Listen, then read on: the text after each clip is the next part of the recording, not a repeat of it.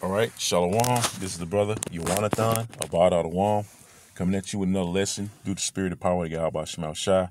All right, Lord, when I pray that's edifying, first and foremost, as always, I want to start by giving all praises and glorifications to Yahweh, by Hashem Yahushua, by Hashem Kakadash.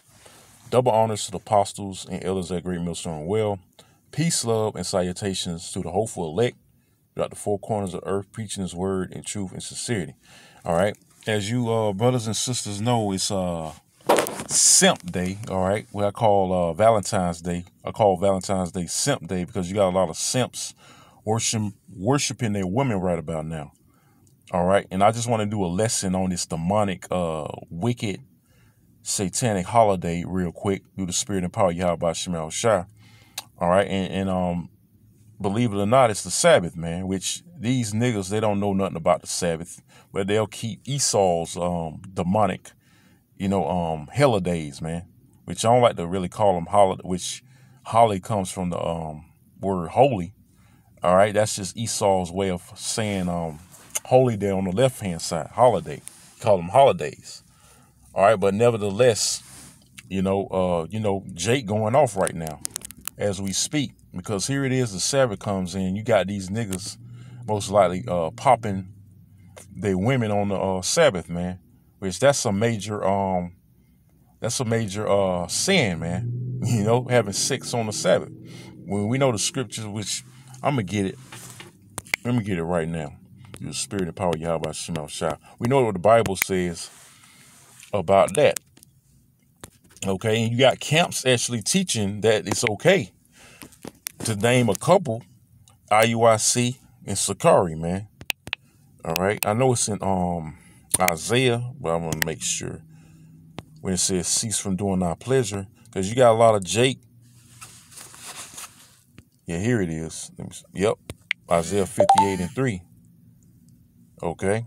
Got a lot of uh Jake popping a woman right about now, man. This is Sabbath. The Sabbath just came in not too long ago.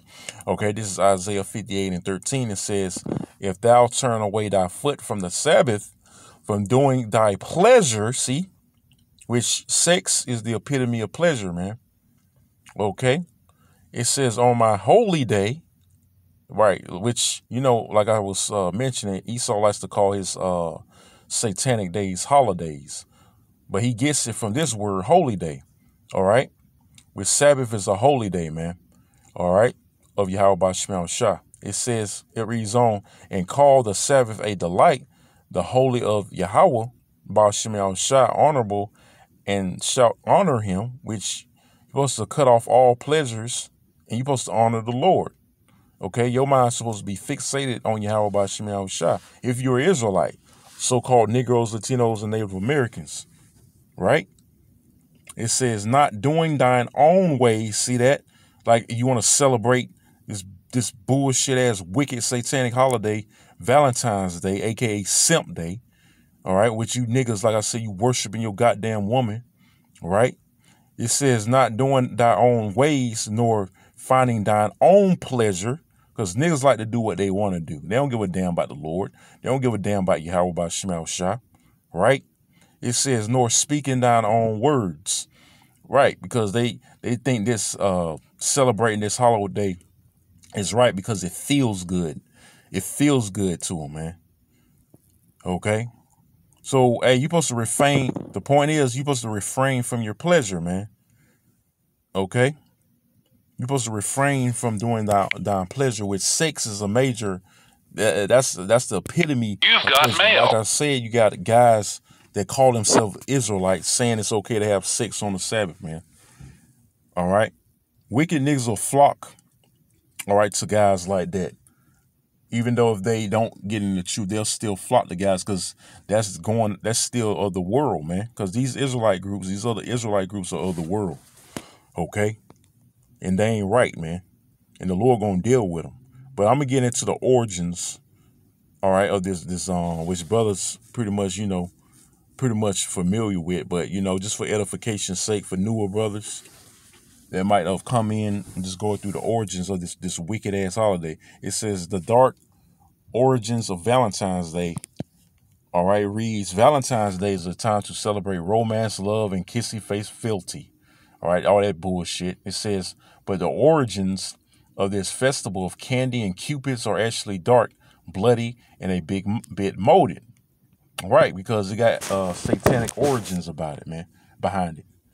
Okay, it says though no one has pinpointed the exact origin of the holiday, one place to start is ancient Rome, right? Because a lot of heathenistic things were going back in um, ancient Rome, man. All right, uh, back in ancient Rome, they had all kind of deities, like um, ancient Egypt had all kind of gods and de- de- deities, so to speak.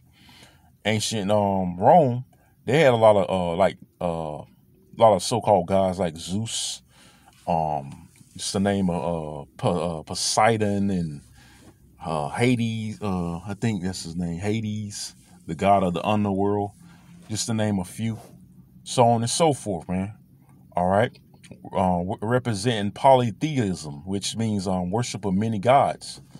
Okay, so um, I'm gonna read on. It says from February 13th to the 15th, the Romans celebrated the feast of Lupercalia.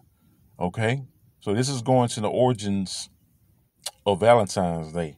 Okay, it comes from the the feast of Lupercalia. All right, it says the men sacrificed a goat and a dog.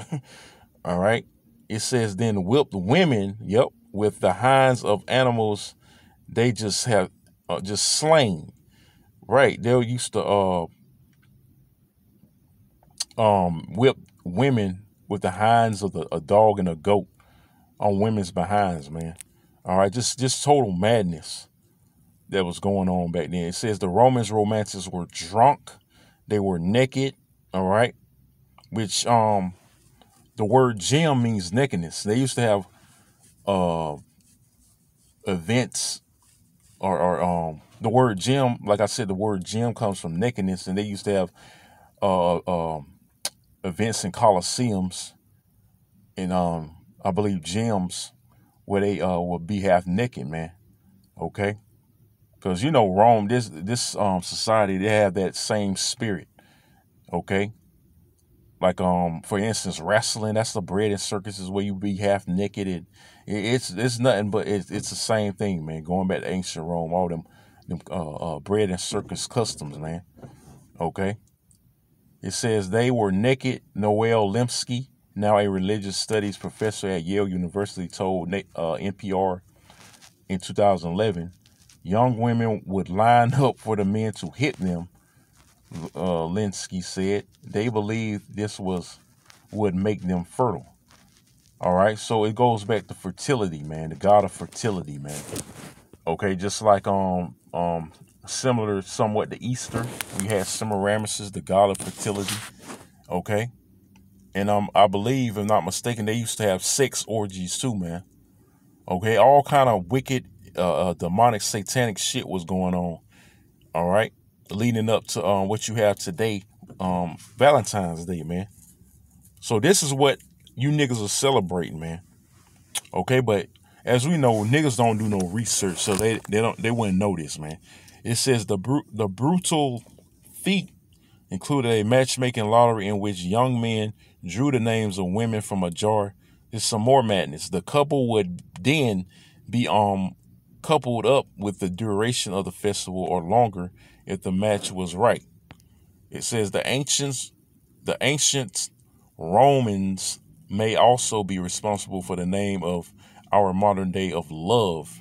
Emperor Claudius II executed two men, both named Valentine. We get the word the this holiday from Valentine's Day on February 14th. And hence you have so-called Valentine's Day on February 14th, man.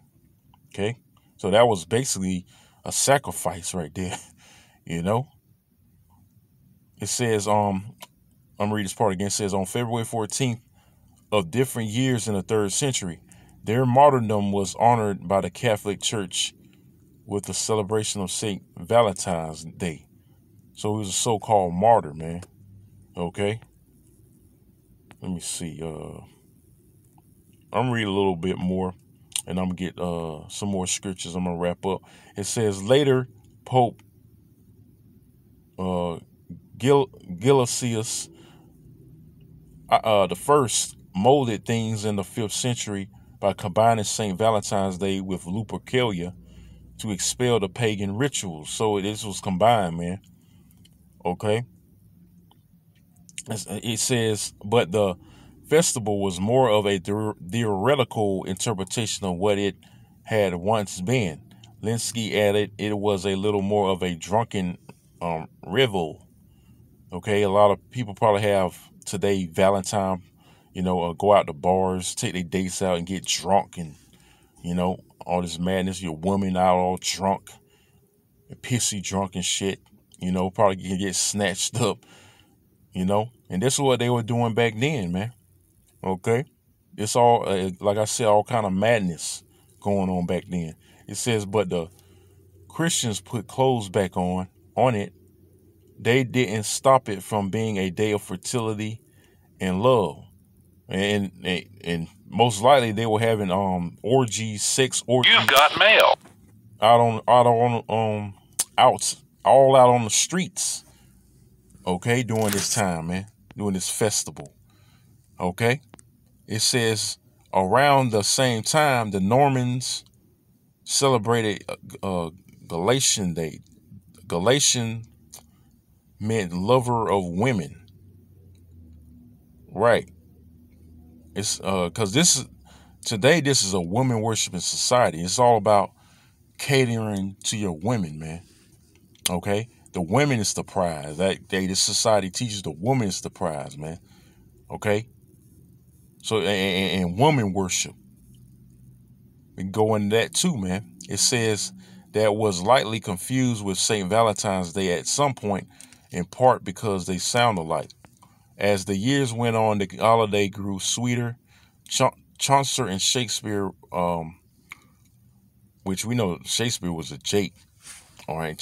Chaucer most likely was too. But this is going on um, when Jake was ruling. Jake was being wicked as hell too, man.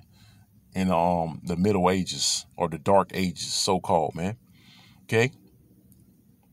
It says Chaucer and Shakespeare uh, romanticized it in their work and it gained popularity throughout Britain and the rest of Europe. Like I was saying, Jake, Jake ruled Europe a thousand years, man. So Jake was in the, on his wickedness, man. Okay. It said handmade paper cards became the tokens. That's why people go get Valentine's Day cards and shit, you know.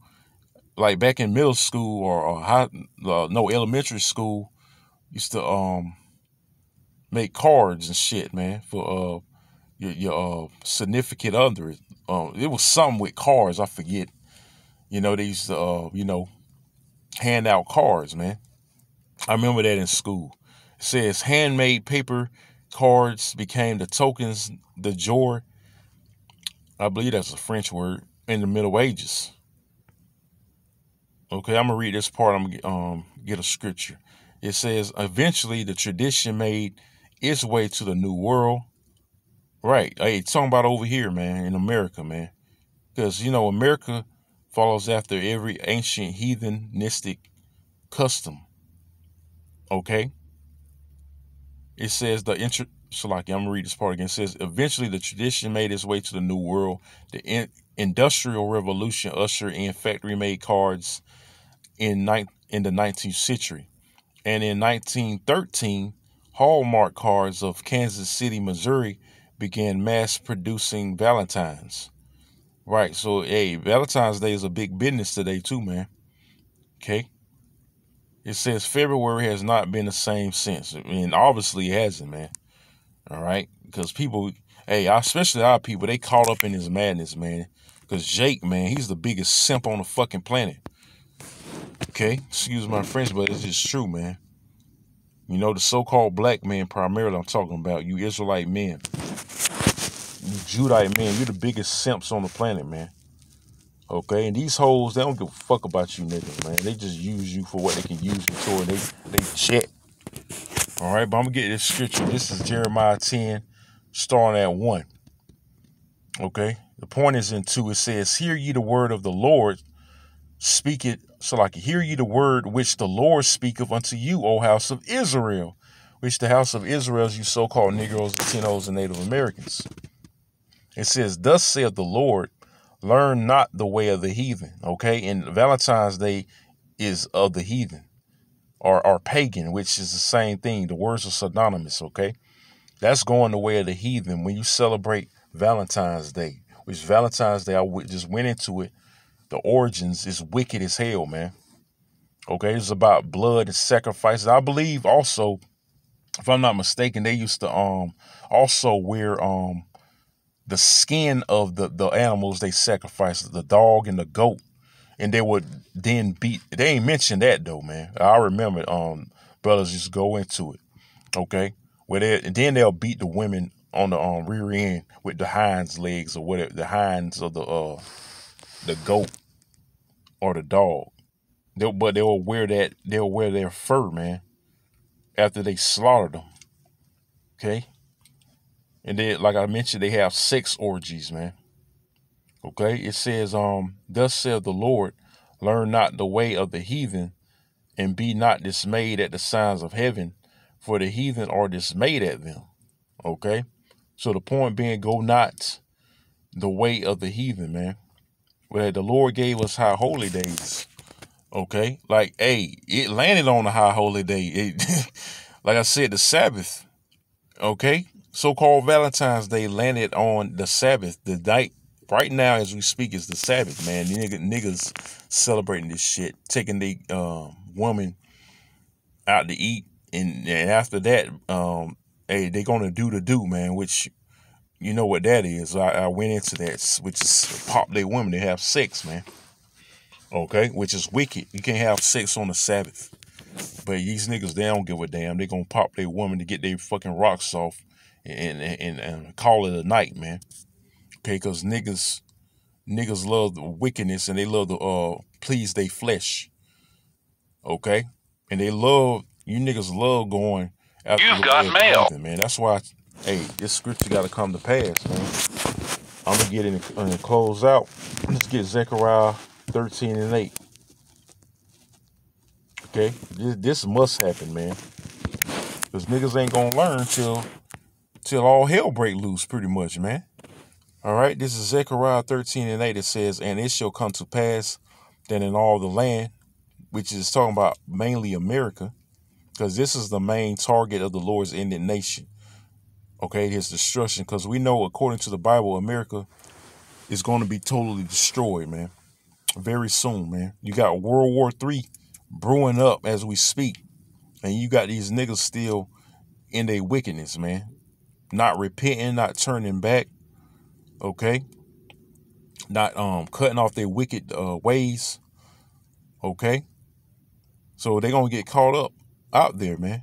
It says, And it shall come to pass that in all the land, saith Yahweh by Shemal Shah, two parts therein shall be cut off and die, but the third shall be left therein.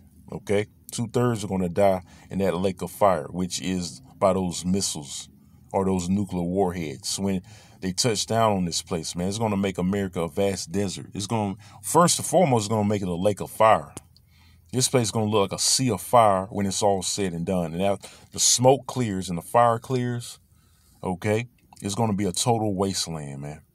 And these niggas gonna get wasted with it, okay, because they want to get wasted, all right, on some alcohol tonight, polluting the Lord's Sabbath and fucking they women, man. I'm just saying like You've that. got mail. So the Lord, the Lord gonna waste their ass in nuclear destruction, okay. So hey, I'm gonna end it off on that.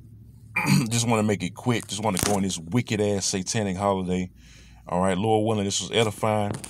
I'm gonna sign off by saying all uh, again, all praises and glorifications goes to Yahweh, by Hashem, Yahweh Shah, by Hashem Rakakadash, double honors the apostles, and elders that great millstone who were well. Peace, love, and salutations to the hopeful elect throughout the four corners of earth, preaching his word in truth and in sincerity. I say Shalom, call me Ashala, and the Baba Ball. Shalom.